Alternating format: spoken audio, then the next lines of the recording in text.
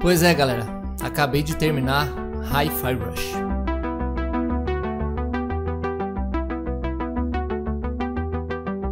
Salve aí meus amigos gamers, bem-vindos a mais um vídeo aqui no meu canal, este é o Roberto in the Game, venho hoje falar a respeito de uma experiência muito bacana que eu tive com Hi-Fi Rush a primeira vez que eu joguei, que eu finalizei, estava com uma lista de jogos aí para jogar, entre eles Hogwarts Legacy, é, Alan Wake 2, enfim, e agora chegou a vez dele.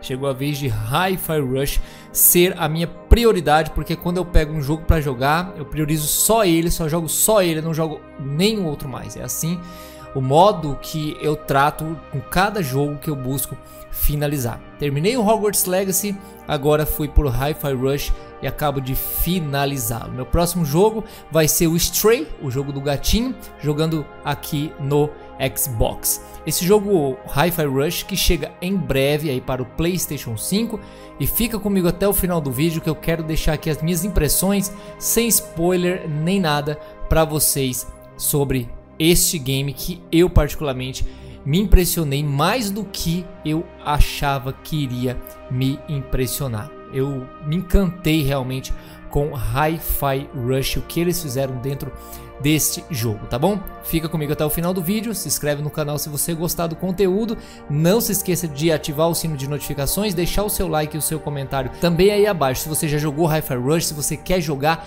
enfim. Pessoal, é, hoje vocês viram aí que eu tô começando o vídeo até de uma maneira diferente, porque realmente hoje é um joguei e zerei diferente, né? Eu geralmente faço esses vídeos aqui de joguei e zerei explicando um pouco do que eu achei de cada jogo. Mas hoje, cara, eu venho assim até meio triste, sabe, fazer esse vídeo para vocês. Por quê? Porque eu queria que houvessem mais jogos assim como Hi-Fi Rush. Apesar de eu ter achado Hi-Fi Rush com tempo de campanha perfeito, cara, perfeito mesmo. Eu levei entre 13 e 14 horas para finalizá-lo, claro, morrendo em algumas fases e tal, mas foi isso que eu levei para finalizar Hi-Fi Rush.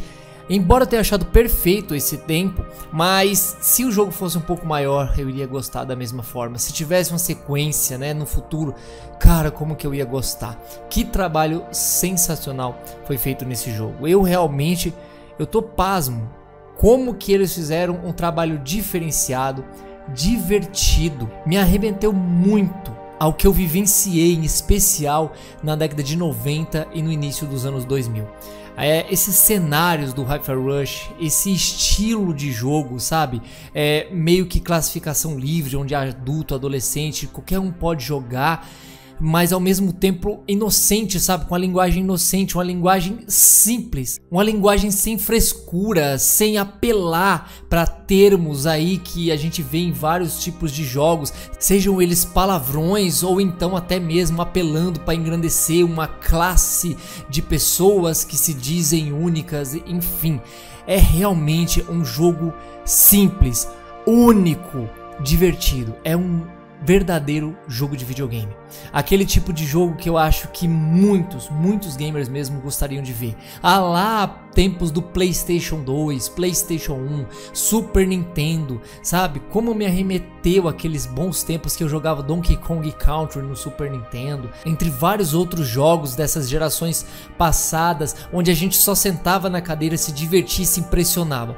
Hi-Fi Rush parece a princípio um jogo normal de um carinha que vai batendo com a guitarra em todo mundo, mas não é isso. O jogo exige o tempo inteiro que você preste atenção no ritmo para que você se saia bem, até mesmo no momento de fazer uma defesa dentro de um boss fight que você tem que se defender no tempo certo, em compasso, no compasso com a música. É sensacional. O jogo te traz para uma ambientação 3D, 2D em alguns momentos, em momentos que você tem que deslizar numa tirolesa e ir escapando para um lado, para o outro, para cima, em obstáculos que estão ali na sua frente, tudo isso segurando no cabo de aço no qual Shai, o personagem principal, o protagonista do game, está segurando. Cara, é sensacional, é simplesmente incrível como a narrativa é perfeita, sabe? Não deixa nada a desejar tudo se encaixa perfeitamente,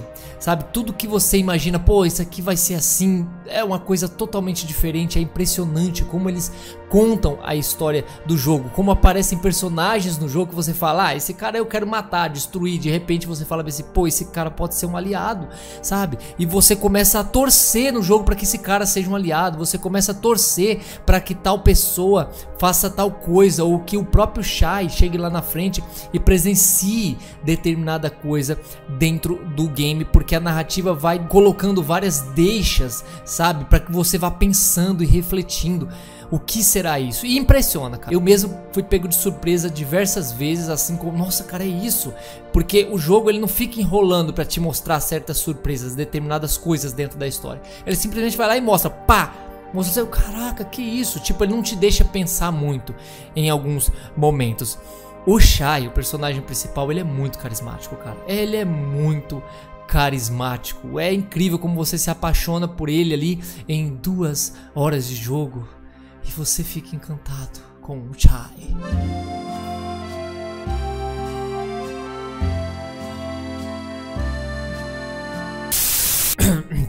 Bom, voltando aqui, me recompondo, né? É, o cabo é macho, velho. O cabo é bruto. O cabo é top mesmo. O cabo é irado, mano. É maneiro só. Muito louco, como ele mesmo fala dentro do jogo em várias vezes, em determinadas ocasiões, né? Usando aquelas gírias. Ah, sou maneiro. Ele aprende coisas dentro do jogo, ele aprende a viver, conviver com as pessoas que estão ali ao seu redor e termina o jogo de uma maneira, né? Totalmente diferente. O Shai do início do jogo é o Shai totalmente diferente no final do game. É realmente impressionante e que história bem contada de uma empresa chamada Vandalay que faz ali experimentos com as pessoas e o Shai é uma das pessoas que vai passar por esse experimento. Olha, falar a verdade para vocês, eu me arrependo de não ter jogado este game antes. Se eu soubesse que esse jogo ia ser tão legal, tão divertido, ia me trazer tantas, sabe, diversões, me arremeter à minha infância também porque a qualidade do jogo é, é incrível, é sensacional. Não é só o cenário visual, tipo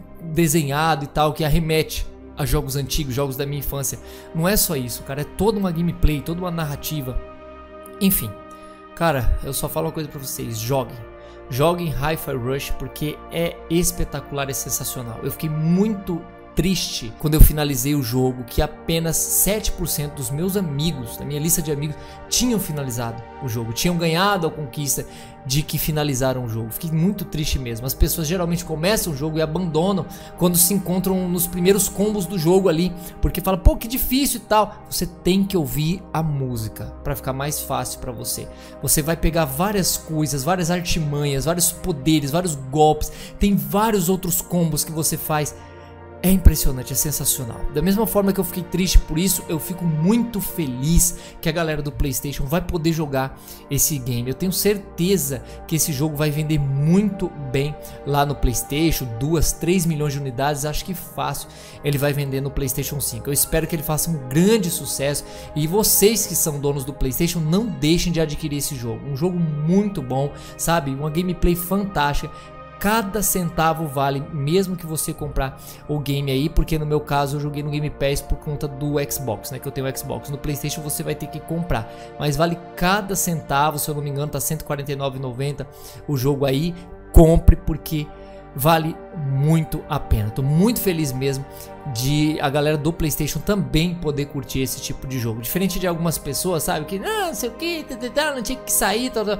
Cara, eu sou contra sair em certos tipos de jogos que desvalorizem a marca Xbox, porque eu amo essa marca, eu amo essa plataforma, né? Então eu não quero ver essa plataforma desvalorizada a certo ponto que eu só vou jogar num aparelhinho em nuvem daqui para frente, né? Eu não quero pensar nisso. É, eu quero que tenha o console, eu quero que as pessoas possam continuar usufruindo do console de forma tradicional por muitos e muitos longos anos o Xbox. E quando a gente vê certos conteúdos indo para outras plataformas, aí a gente já começa a pensar que isso pode ser é, o fim do Xbox realmente. Mas esse tipo de jogo, como Hi-Fi Rush, acho que o pessoal já jogou, deu o que tinha que dar. E eu acho o seguinte: se a galera ainda quer ser contencioso quanto a isso, não quer ver jogos do Xbox no PlayStation, joguem, cara joguem. Um jogo como Hi-Fi Rush está lá no Game Pass e eu olhar para minha lista de amigos e nem 10% da minha lista de amigos zerou, finalizou esse jogo, sabe? O que, que a Microsoft tem que fazer? Ela tem que realmente ir vender em outras plataformas. Então, fica aqui minha reflexão. Fiquem com Deus, um grande abraço. Fui-me.